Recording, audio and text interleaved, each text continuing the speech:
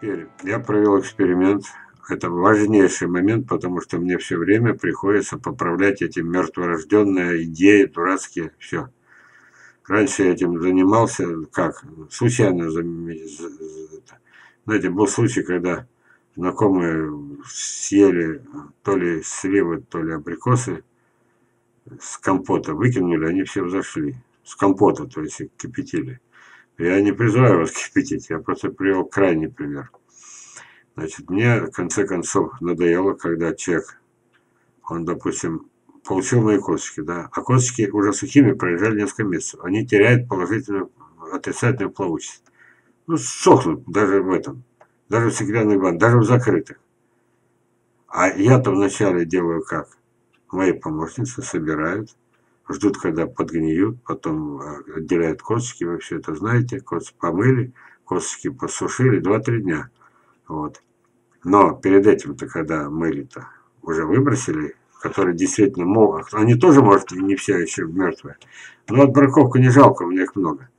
Все, после этого браковка теряет смысл. Доказательства сейчас. Значит, мне пришлось после очередного упрека, допустим, 10 утопил, а, а, а, утопил, а две всплыло или одна. Кто-то уже считает, что я его нанес большой ущерб. Вот. И я взял, выбрал самую банку, где много белых косточек. Чем белее косточка, тем у меня шансов, что она мертва, больше. Вот. Я всегда удивлялся, почему именно последний, когда собираем, тут наибольший процент белых. До сих пор не знаю почему. Именно последних. Как бы белее, но это не значит, что они мертвые. Вот он таз. Внимание. Один из важнейших опытов моей жизни. Я имею в виду чисто практических опытов. Тут уже я не про какую-то там организацию, которой нет на свете и быть не может, господа ученые, правда?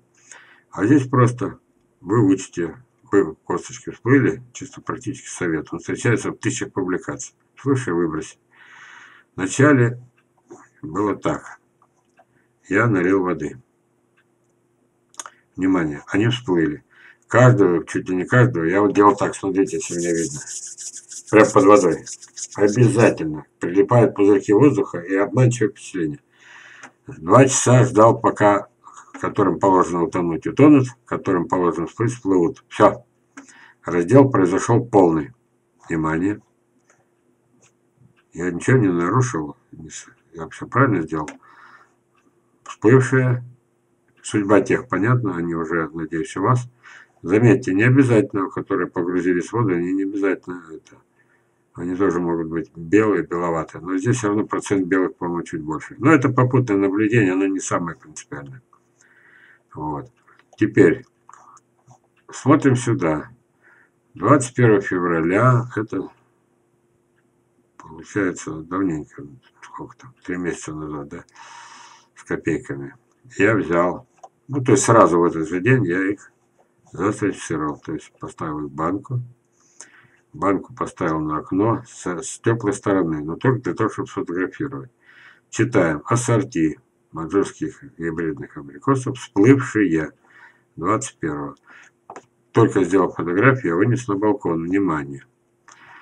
Вот. И поставил, тут тепло, минус, плюс, плюс. Ну, ну февраль, март, ну, правда, зима была теплая, но десятки раз менялось. Я, почему я добивался, почему именно этот способ, почему не в холодильнике? В холодильнике могли проспать и до мая, и я посчитал, что они правда мертвы.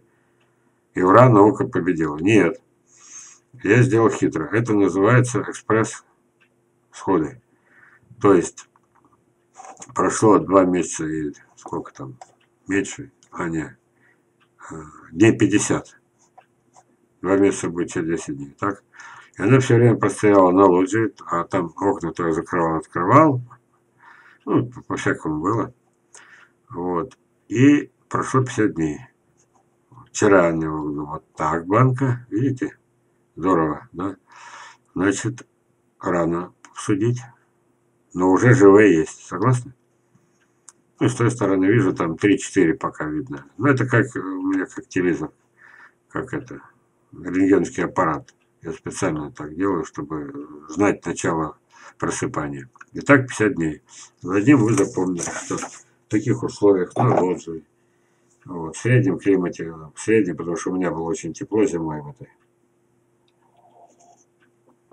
Вот. Ну, теперь я жду еще месяц, надо, чтобы максимум зашло. И где-то мы с вами встретимся через месяц. Где тут дата? То есть где-то 10 мая или 20 мая, чтобы уже наверняка я вскрою эту банку. Вот так фотография. Вытряхиваем фотографию, раскладываем фотографию и выводы делаем.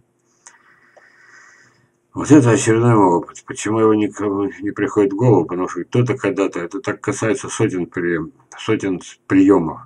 Кто-то когда-то написал, и это стало нормой. И абсолютно безграмотные люди стали классиками.